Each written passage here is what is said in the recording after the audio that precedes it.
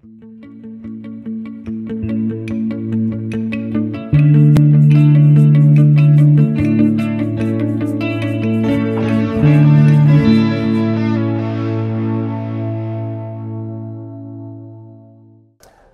will um, talk about collaborations with uh, Tom Courtade, Amir Ingber, and Idoia Ochoa, which were largely inspired by some discussions with Golan Yona. And this is all uh, largely supported by the, by the Center for the Science of Information. So what we looked at was this problem of search in large database. So if you have some piece of data or string or sequence y, and you want to know whether it appears somewhere in this really big database. You, you search it, whether it appears exactly or approximately according to some notion of similarity. Um, that's the basic search problem. As you can imagine, it appears in essentially any problem involving large databases. But what we wanted to do is understand how you can compress this big database down to a much more modest one that will comprise of signatures that you will extract from the large database. And these signatures you're going to use to, for doing the, the search, the similarity search. So the idea would be that you're going to take this, uh, this data, this query sequence y, and only on the basis of these signatures, you're going to get indications, if you will, candidates for similarity. And, um, and so then only those candidates, only those signatures that gave you sequences that are candidates for similarity, you will make the effort of going to the original big database and retrieving them and looking at them closely to see whether they are indeed as similar and interesting as you were hoping. Okay, so this sort of generic structure is re very relevant for many big database architectures, and this is exactly the architecture in this sort of new generation of the Biozon platform, which Golan Yona is currently developing at, at Stanford. And, and, the idea is that there's this really big database or large collection of data out there on the internet of a lot of biological data. And what you're going to do is sort of crawl that data and extract small signatures that will overall form, that you will store on your sort of local warehouse. And from those signatures, you'll be able to do all sorts of inferences. And then, if needed, every once in a while, go back to the original databases and retrieve and look closely at the big data. So zooming in, the problem now is, is this. For, for, for this one data sequence, xn, so x superscript n is, is an n tuple, x1 up to xn. You're going to have this encoder t, so encoder or hash function whatever the community you come from, but that's going to be the, the thing that extracts the signature from the data. You're going to get a signature of nr bits, so rate r, r bits per source symbol. And on the basis of that signature, your decoder is going to try to answer, so the decoder is going to see y, the query sequence. And on the basis of this signature, it's going to want to answer the question of, are these sequences similar? Okay, so is the distortion or the similar, so d, small d is some similar, the distortion criterion that we're using to measure similarity. And what you'd be trying to answer is whether the sequences are similar in the sense that the distortion between them is less or equal to some similarity threshold, capital D. Okay? So that's the problem, and we can try to think what would make a scheme good for this problem. So obviously what you want is a small probability of error. Uh, but the thing is that not all errors are created equal. So Error here consists of two types of errors, either a misdetection or a false alarm.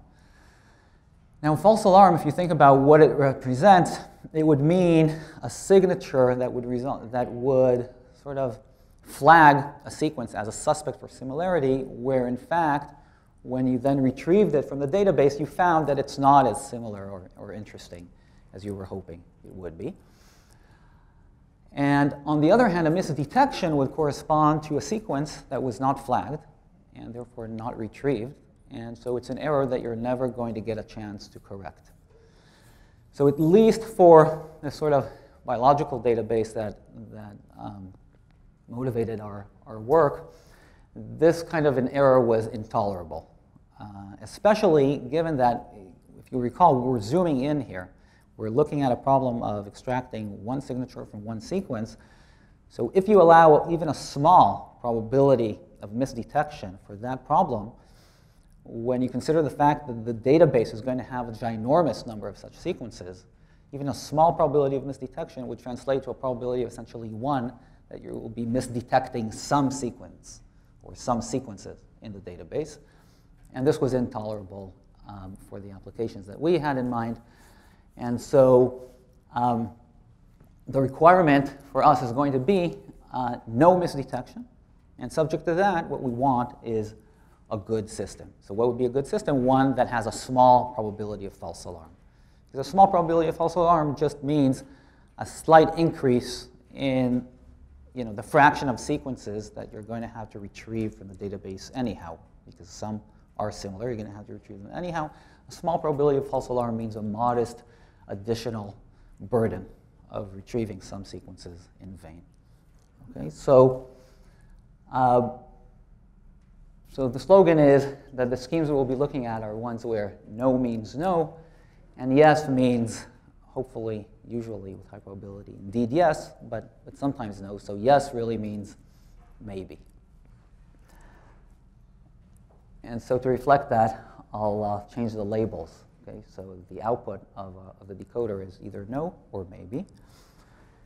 And um, slightly more mathematically, what does this no means no mean? So that's what we'll refer to as d-admissibility.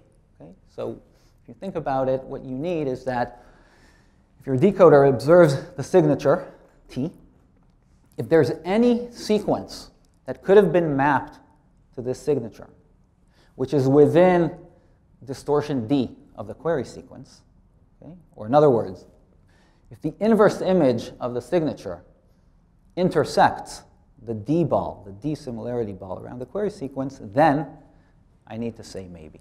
Okay? Otherwise, if there's no intersection, then, and only then, I can afford to say no. Okay? So these are the admissible schemes that we could work with. And, um, and another point, in, in a sense, nice thing about this requirement is that it's purely combinatorial. Okay? It's not about any, doesn't relate to any probabilistic model that I'm putting on the data. It's not a high probability requirement. It's strictly combinatorial, and this is good, we found, again, when working with some practitioners, in that um, if you really wanted to get them to employ this thing, and if they really care about no misdetections, then you need schemes that, or if you want your theory to guide the construction of schemes, then these schemes need to be sort of robust to your modeling assumptions, uh, which are often inaccurate at best. So with that, okay, and one more observation is that, you know, first homework exercise in your first course in probability, probability of a maybe is really, so probability maybe and the probability of fa false alarm really determine each other. And because we're going to be the interesting regime, uh, and I'll be specific in, in a few slides, but the interesting regime here is one where the event of dissimilarity is the typical one. So most sequences in the database are not similar. There are only a few that you're looking for that are. So, so the event of dissimilarity is a typical one, and so not only do these probabilities determine each other, but if you want to get small probability of false alarm, that's actually equivalent to requiring small probability of a maybe. Okay? So really what we want is subject to d-admissibility schemes that have small probability of maybe. And the question now is, how large does the, does the signature need to be? How large does the rate need to be? How many bits per source symbol do we need in order to allow for that? Okay, to allow you know, vanishing probability of maybes, which you can think of as you know, effective or reliable querying. So, in the spirit of Shannon, to be more concrete, we're going to say that a rate R is achievable if you can find me schemes, okay, d-admissible schemes of rate R with vanishing probability of maybe, vanishing as the size of the data increases. And our object of interest is the rate distortion function for queries, if you will. I'll denote RQ of D.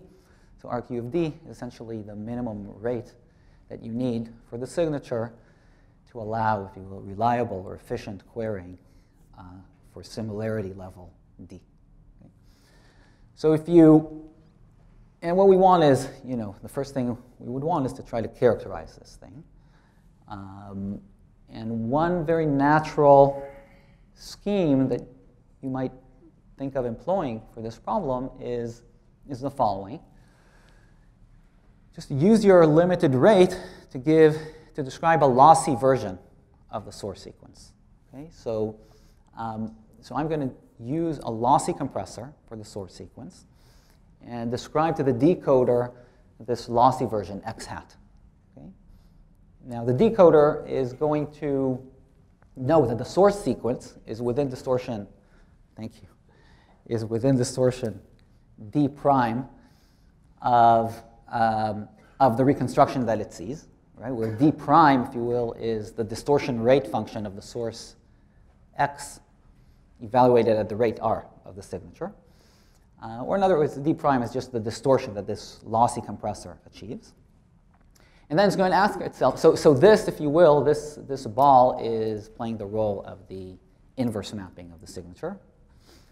And now it's going to ask itself, okay, is this ball intersecting the similarity ball around the query sequence or not? If it is intersecting, then you need to say uh, maybe, otherwise you can afford to say no.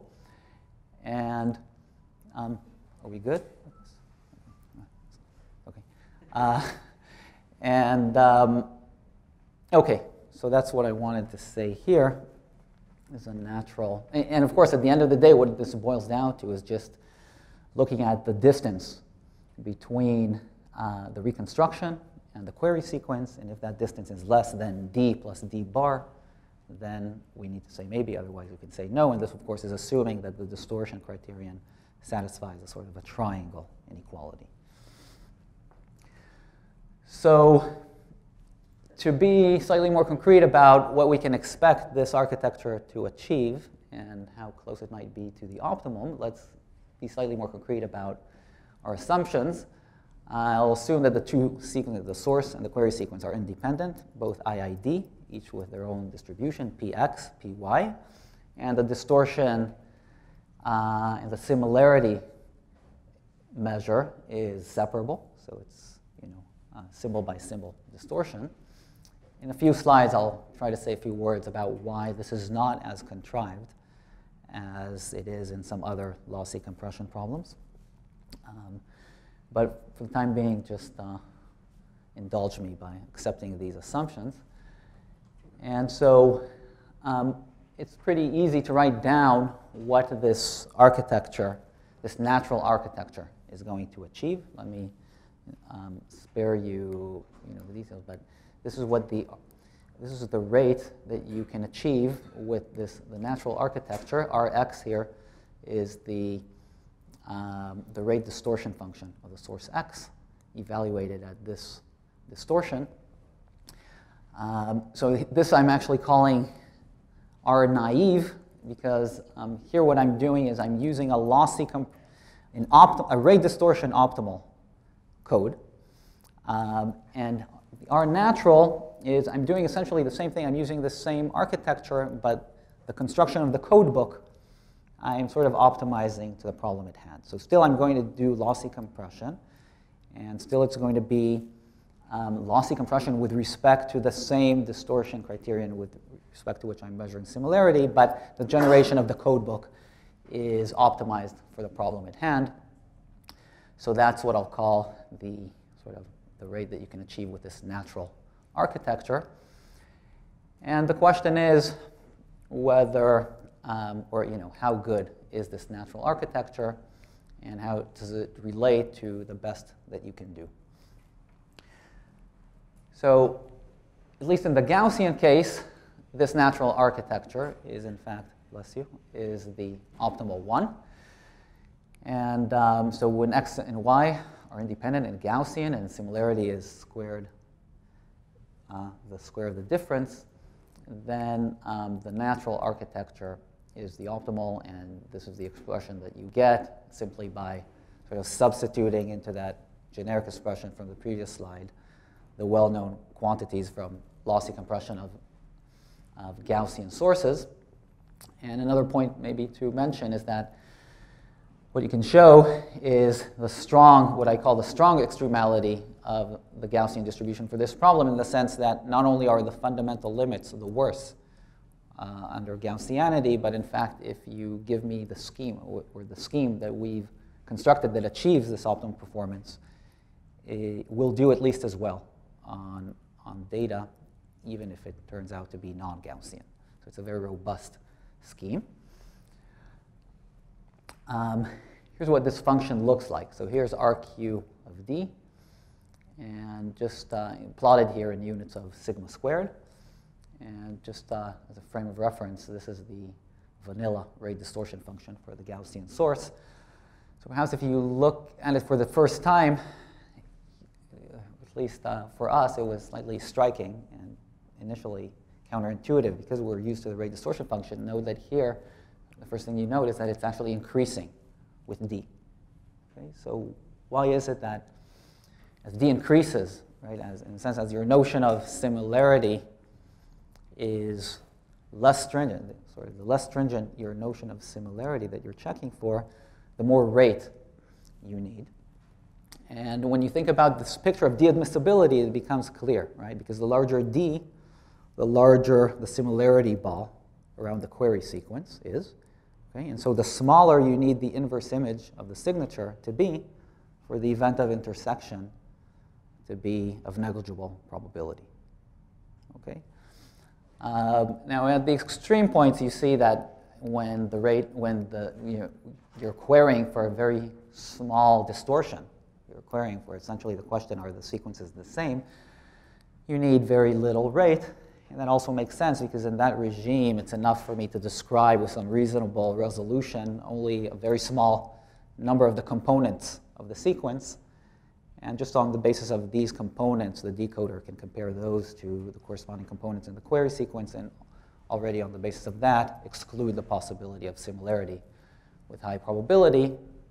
And on the other hand, of course, as we approach the sort of typical level of similarity between the two independent sequences, then of course there's nothing I can do that will reduce, that will make the probability of a maybe small, because the probability that the sequences are truly similar is non-negligible.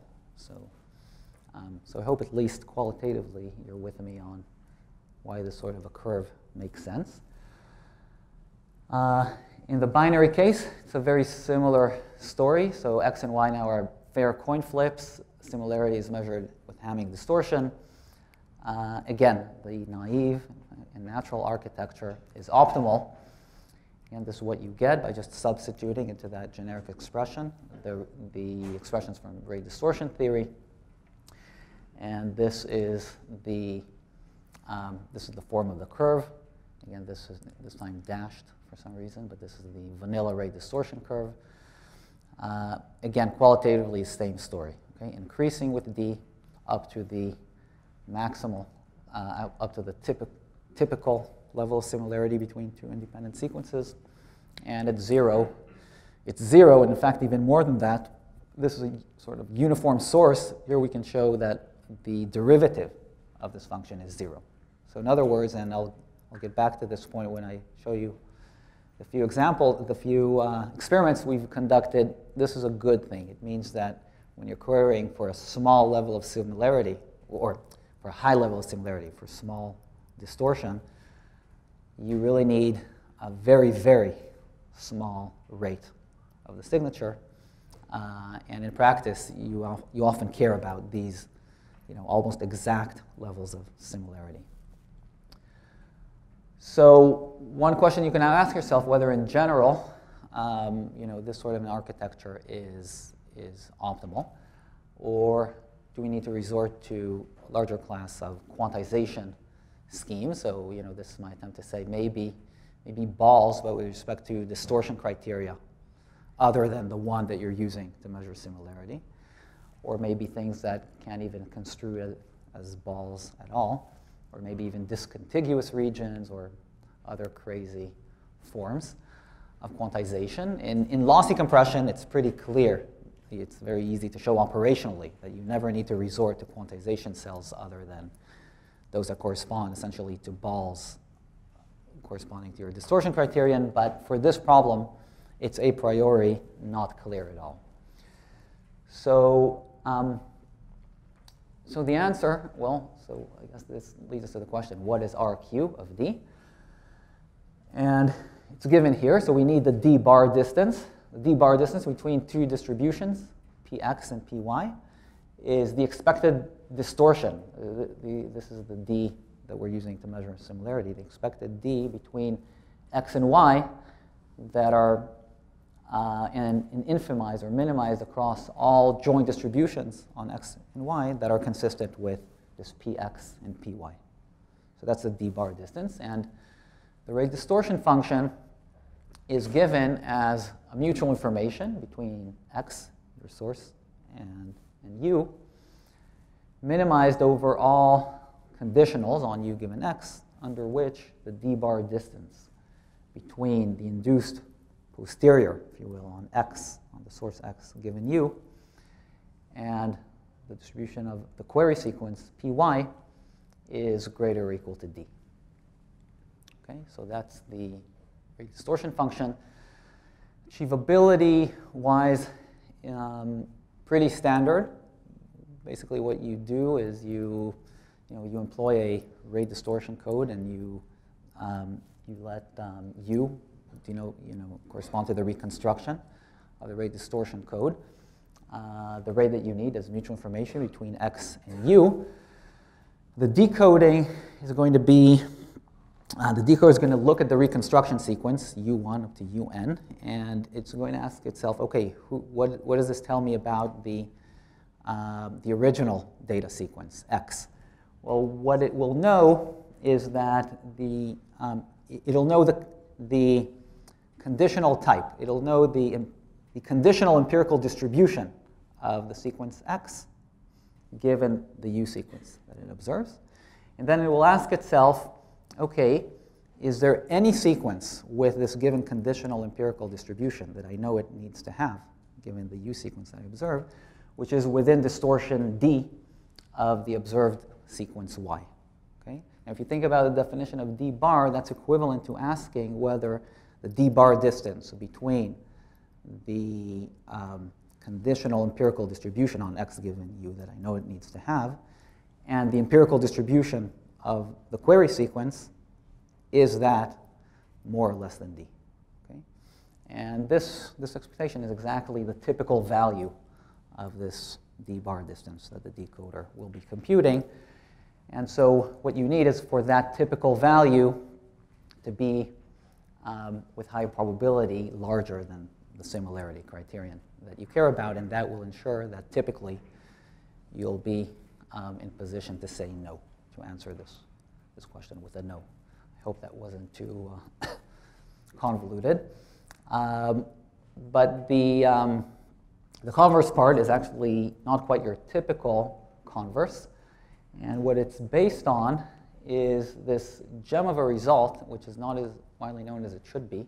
It's in a paper by Ahlswede et al., which I will be saying more about in, in the next few slides, uh, or in a few slides from now. But this typical subset lemma is essentially what it tells you is give me any set of sequences, and this could be an arbitrarily wacky set. You can always find a subset of it of essentially the same size, exponentially speaking, which can be construed essentially as a conditional type with respect to some auxiliary u, which, which is not too large in its cardinality. So you can use that um, to really lower bound the performance of any scheme that you give me with arbitrarily crazy quantization cells by a scheme of the type that we've seen in the previous slide in the achievability that has sort of conditional types as its quantization cells. And this almost gets you home free. It, show, it, it allows you to show that any rate which is less than this RQ of D in the previous slide will be such that you can't get probability of maybe vanishing exponentially rapidly. And then you need to sprinkle on top a pretty standard application of the blowing up lemma that shows you that if it's less than that RQ of D, then not only will it not vanish exponentially, it will actually not vanish at all. In fact, you get for free that it will, in fact, you get this strong converse, it'll go to 1, and in fact, it'll go to 1 exponentially rapidly. So everything you, you need. Um, okay, so the bottom line is that you don't need to go too far. We understand the architecture, and it's sort of the quantization cells are sort of similarly as in rate distortion. They are the type of sort of conditional typicality balls. Uh, and just in case you're wondering, so in general, uh, yes, the, the, you can do better, strictly better than the natural architecture. Even, you know, this um, sparing you the details, ternary source, Hamming loss. Um, you can find examples where the natural architecture is strictly better than the naive one, and, um, but the optimum is, is when you do quantization under a distortion criterion other than the the one with respect to which we're measuring similarity, uh, or in this case, other than Hamming. So let me quickly say something about error exponents. Um, so many of you know well what error exponents are. Uh, in our setting, it's right. It corresponds to well, okay, in practice, the data size is finite. We're going to have to work with a rate r, which is more than RQ of D, then the minimum rate that you need to get vanishing probability of maybe. We're going to work at some rate larger than that. We're going to want then to ask, uh, and so if you do, the probability of maybe can be made to vanish exponentially rapidly. It'll vanish like 2 to the minus n something. That's something exactly the error exponent. And so as you can imagine, also for finite amounts of data, understanding this object and how to achieve it is as important um, as the understanding of RQ of D. So I won't go into the details, but one thing we've been able to do is characterize the, this error exponent explicitly. For the Gaussian case, here I'm plotting it. Um, by the way, Venkat, how much time do I have? Just so I know what level of detail I can afford to. Uh... Okay. okay, great. So here you can see, um, here I'm plotting this. We have this, the, ex the, expression explicitly, I'm just sparing you, but you can see it plotted here. Um, we're taking a distortion level, a similarity level, which, is, uh, which corresponds to a minimum rate that you need for vanishing probability of maybe of two bits per symbol. So any rate that you work above that will give you a positive exponent. Um, and here it is going up until, well, the point, uh, the, the exponential decay rate of the probability that the two sequences really are similar. And um, actually, this, the points on these, these um, on this curve are actually also achieved by essentially this natural architecture, almost. You need to spend a few, a negligible number of bits to just describe where on the radius of the sphere on which the source sequence lies, and then you essentially do this natural architecture on the sphere. Um, here's an error exponent for the discrete case, finite alphabet case when the distortion is zero, so you're querying for exact matches. So let's see what, what we can expect to see here. When the distortion is small, when, it, when, it's, when we know that you know when we saw that RQ of D for D small is is small when RQ of D for D0 is zero. So we expect to see a positive exponent at positive R. But not only is it positive, right off the bat, it starts out at something positive. And um, this something, well, okay, pop quiz. So X is IID PX, Y IID PY, and they're independent what is the probability that they have the same type? They have the same empirical distribution. So if they come from different distributions, px and py, this probability, we expect it to be exponentially small, right? But what is the exponent? So we were kind of surprised um, to find that the answer is twice the Bhattacharyya distance. Here's the Bhattacharyya distance. So for us, it's the first time we realize that this Bhattacharyya distance, which is a cute measure of distance between distributions, actually has this nice operational interpretation. And by the way, this is a nice uh, exercise, a few lines worth of an exercise. Next time you teach information theory, uh, you can give it. And then, um, and then you have this linear increase of slope 1 of the exponent, which essentially you're getting by binning. Oh, by the way, how, how do we achieve this?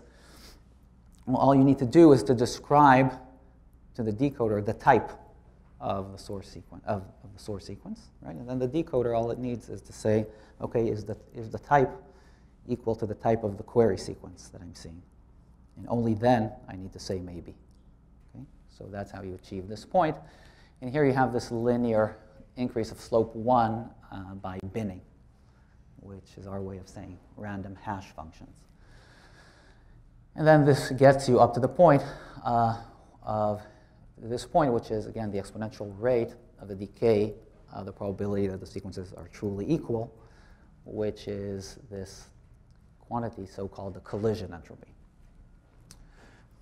Okay, um, and we will soon be submitting a paper that actually gives you this error exponent quite explicitly for any, any discrete source uh, at any distortion or similarity level. But this was perhaps a point, you know, talking about uh, error exponents, to give due mention to this paper of uh, Ahlswede et al.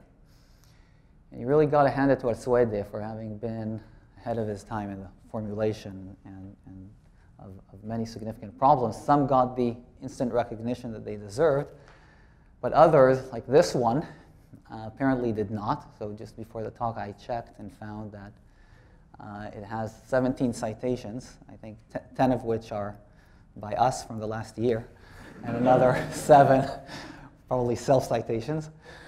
Uh, but basically, what they did in terms of their problem formulation, it really includes, in fact, subsumes much of what I just talked about.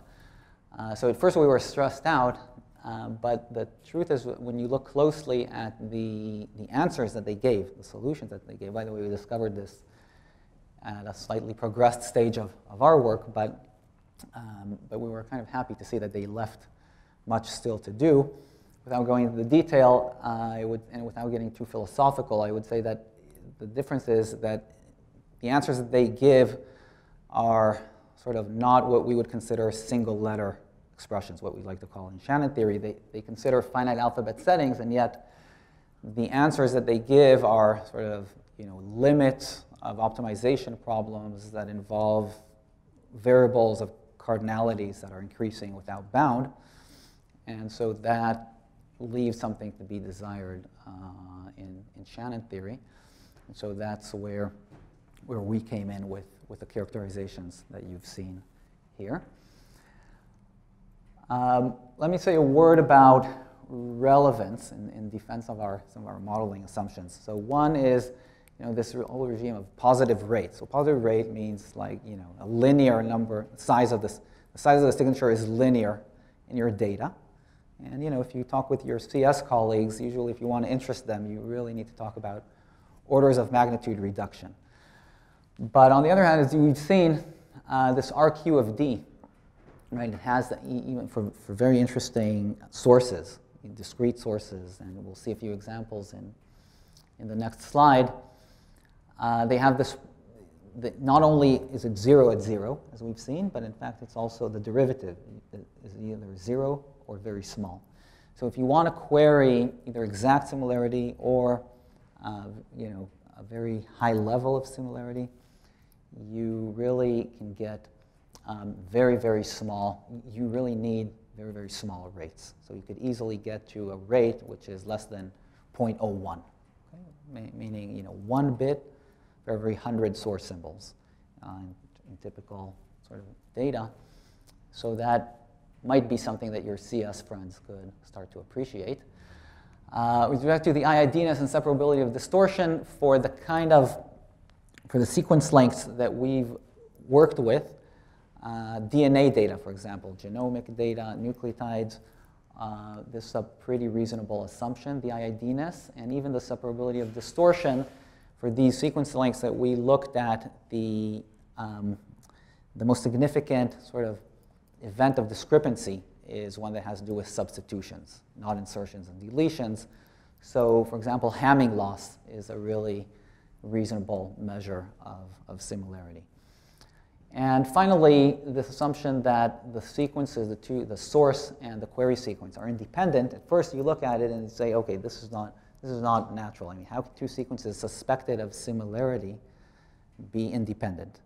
But when you think about it some more, this is actually a pretty good and natural model because the event of similarity is the atypical one, right? The event of dissimilarity is the typical one. Now, conditioned on dissimilarity, right, because it's a typical event, that does essentially nothing to the, the probability. So conditioned on dissimilarity, the sequences are, as in the unconditioned case, independent.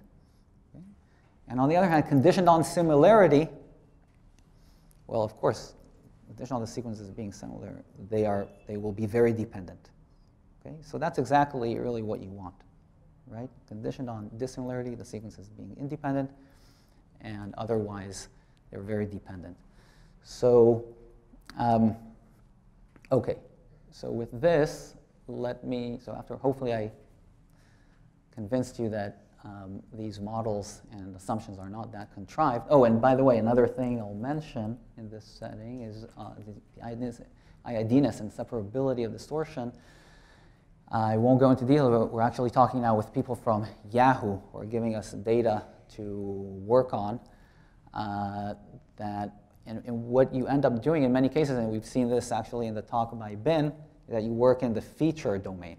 Okay? And, in the, and even though your data may not be IID and the distortion and the similarity distortion in the original domain will, might not be uh, naturally separable, if you do your feature extraction right, then the feature domain, the assumption of IIDness and separability of distortion, let's say using L2 or L1 as a distortion criterion is very, is very natural. So here are two toy examples that we, um, that we looked at. Uh, we actually have some more in the making, but it didn't make it to this talk. This we presented in Allerton. Uh, basically, what we did was just in, implement this natural architecture that we've seen. In fact, the naive architecture for these two sources that you'll see is the optimal one. So basically, just off-the-shelf lossy compressors, slightly tweaked, but I, I, won't go into it. And so here's one thing we did for fair coin flips, uh, Hamming similarity, sequences of length 512. You can compute, uh, and we're querying for similarity level 0.05, so 5% similarity. You can show, you can compute the RQ of D. So this, this here is RQ of D. That's the minimum rate of the signature that you need to get a small probability of maybe. But of course here the data is finite and is fixed. So what's interesting is to look at this plane of rate versus probability of maybe. So here are the few points that we got. Um, and here in green, is a lower bound. I won't go into the details, but it's what you would achieve if you used it by assuming that the lossy compression part is rate distortion optimal, that you're achieving a point on the rate distortion curve. And another thing we tried to do, um, and it wasn't easy to find a sort of a not completely apple to oranges comparison. So one thing we were able to do is compare this to what you would have achieved with LSH, uh, local sensitivity hashing. Some of you are familiar with that.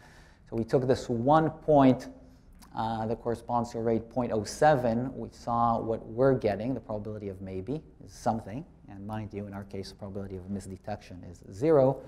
LSH has some parameter you can play with. It trades off the probability of maybe with probability of misdetection. Without going into details, when you sort of calibrate it to be at the same rate, you get that the probability of maybe is larger than ours, uh, and while at the same time also having positive probability of misdetection. So that's essentially the only scheme that we were able to come up with where we could somehow do a um, apples to apples comparison. The second experiment we did was on real DNA data. So we, we went to this. Okay. So we went to this um, Biozon database and we took many, many sequences of length 100, queried for similarity level 0.1, 10%. What you're seeing here in red are the points that we got in this rate probability of maybe uh, plane. And in blue, what you're seeing is the points we would have achieved if the data were IID with a distribution which is equal to the empirical distribution of the data, uh, which is very close to a uniform distribution. So it's actually uh, reassuring to see, in terms of our modeling assumptions, it's, it's reassuring to see how close these curves, these two curves are. Um, and then, you know, here you see RQ of D and the lower bound according to, assuming the IID source. Um, by the way, for the, blue, for the blue curve, the real data, uh, the point, the probability of maybe is a true, it's an empirical probability of maybe average with respect to all the sequences uh, on the database. Yes? What is n equals 100? n is the length of the sequence? Yes, yes, the length of the sequences. So DNA is much longer than that, right? So Right, right. So, so what we're doing is, you know, extract for every segment of 100, extracting, you know, a signature. And then uh, at this point, I mean, I'm not yet saying that this is going to be something that you're going to implement. That's not going to be the basis for the Biozon uh, system but it, it's a start. So here we're looking at this uh, relatively, um, you know, this is a first step. We're looking at, we're just extracting sequences of length 100, and, and now we're, in a sense, constructing a somewhat artificial database, but not totally artificial with, you know, simulated data, but constructed with the real DNA sequences or segments of DNA sequences of length 100. Okay. Um, but I agree, this is just a, you know, a first step toward um, employing this on, on the real biological databases. So maybe quickly to say a few words on, okay, I don't have time to say anything on related info theory literature is essentially only the paper as far as we're aware of, of Ahlswede et al., closely related, and there's all sorts of stuff that many of you know well from the CS community, depending on the sub-community you come from, going by names of hashing, Bloom filters, sketching, distance preserving dimensionality reduction, and so on. Um, so we definitely plan to, and there's room for sort of bridging the gap in understanding and, you know, in terms of trying to do more apple-to-apple comparisons. Uh, roughly, I would say that in the CS literature, the emphasis is more on, on algorithms and on complexity uh, than on the theory and, and the analysis. Uh, also, there are some sort of technical differences. They, they Usually they don't need and they don't require zero probability of misdetection. Um, but there is room for sort of understanding and, you know, um, trying to put all these schemes together on the same footing. Also, uh, another maybe significant point of difference is that they don't really care. We care, our only criterion is storage space, right? The size of the signature. And that's sometimes a proxy for complexity, but not necessarily. Um, and these guys, what they really care about is how to quickly and efficiently uh, extract signatures. And it's not about necessarily their size, but about how quickly you can extract them. So there's some room for trying to uh, put everything on the same footing. I'm going to spare you a recap. I'm assuming you were with me. I'll spare you future directions on the information theory because you're as good as I am in trying to think about other extensions and variations that would be natural here to pursue. Uh, but maybe I'll just quickly, don't worry, this is my last slide, take a step back uh, and try to think about the bigger picture. If you think about our initial motivation, right, we had this, uh, what we're, we're trying to do is extract signatures we had this big database, and we're trying to extract signatures from different pieces of data in it to come up with this much more modest compressed database. And this compressed database, it also has this property that you know, not only is it much smaller than the original big database, but it also has a property that if you care about one, about querying one sequence in the original big database, you really only need to look at a signature and, you, in a sense, of decompress, or just look at the signature associated with that, um, with that original data. Okay, so you have this um, property assuming that you know the keys that they're all that we, we used uh, fixed fixed length keys, then it's very easy to to just you know immediately access the relevant signature if you want to infer something about the corresponding sequence in the database. And that's an important property. Um, and you know, I think in, the CS community, by necessity, many have, have looked at, and, and you know, there are whole fields about you know, random access and direct access for, for databases and so on. But I think um, in terms of things coming out of information theory, uh, if you look at you know, the successes in practice, like of, of gzip, for example, it's uh, largely based on Lempel-Ziv. These are schemes that were sort of optimized for global properties, like the overall compression rate, the overall size of the data.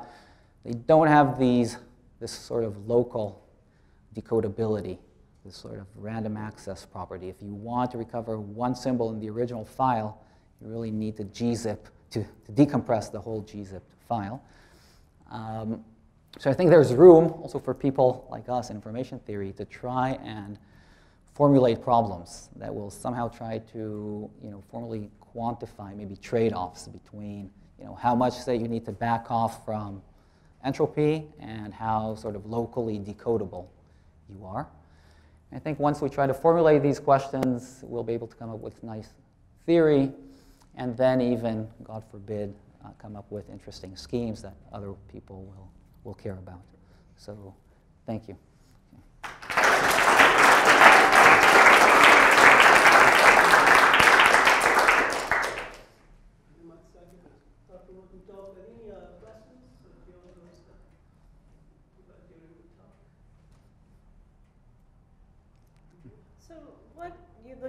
Biozon data and you looked at someone artificial handling it, what are the other applications for where you think it's going to be the most powerful? You talked about Yahoo potentially.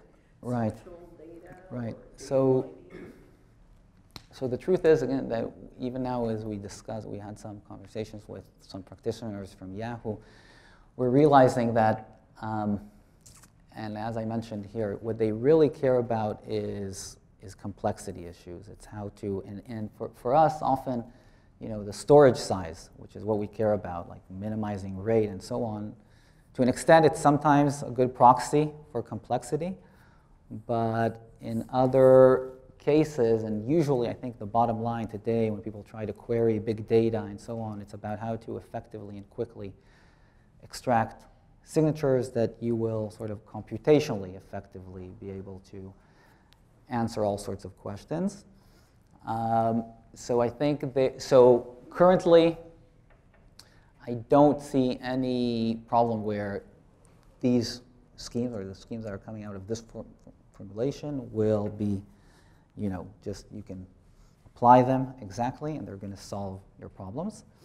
Uh, but again, my hope is that, you know, if you use maybe some of what we've done here as a building block, uh, as I said, the construction, say, of a compressed database, it could lead to some interesting schemes that have, um, you know, competitive trade-offs in terms of things like the local decodability and the compression rate and maybe even complexity.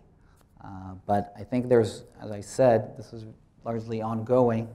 I think there's much more room for um, better understanding of how you can sort of put all these different frameworks on the same frame of reference. So, yes.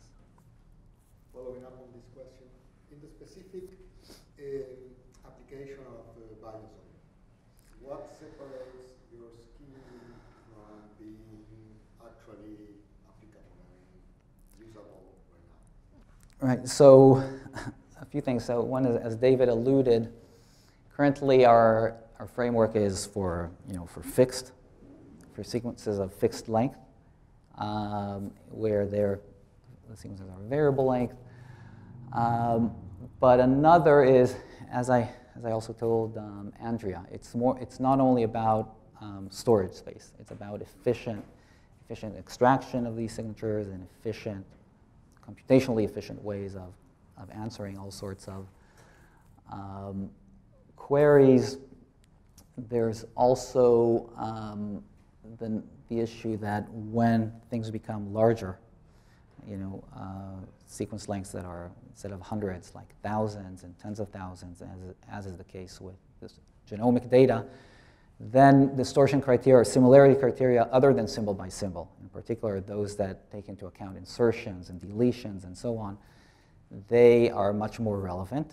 And for those, both our theory currently, I mean, leaves much to be, and there's a lot of theoretical understanding, which is still waiting to be gained. Uh, and also, again, back to the computational point, then even things like computing the distortion between, you know, the similarity between two sequences, even that from a computational viewpoint is, is challenging. So, um, so again, I think there's, So there's it's some. more, it's more about your, where your assumptions fail, more a distortion measure than the memoryless assumption. I- believe, I believe so, although not exactly, because at these large time scales, it goes together because, you know, if you have, okay, even if your source is memoryless, but then, you know, once you think about, you corrupt that, let's say to get another, to another, even if your original sequence was memoryless, the next sequence, you know, given this one, is no longer memoryless if there's a mechanism of insertions and deletions.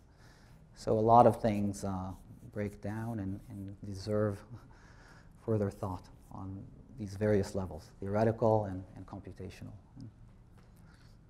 Do you think all these fast uh, codes, this kind of item might be helpful for? Um, so yes, I think, um, so again, to the extent that you buy our framework and that any of this is relevant to a real problem, I think we can use a lot of the know-how from, from communication and from lossy compression to make these schemes pretty, you know, computationally realistic to implement. Um, so my short answer is yes. In fact, the points, the, the two examples that I've shown you and the points that we got, we've used, um, you know, practical implementations of lossy compressors. So,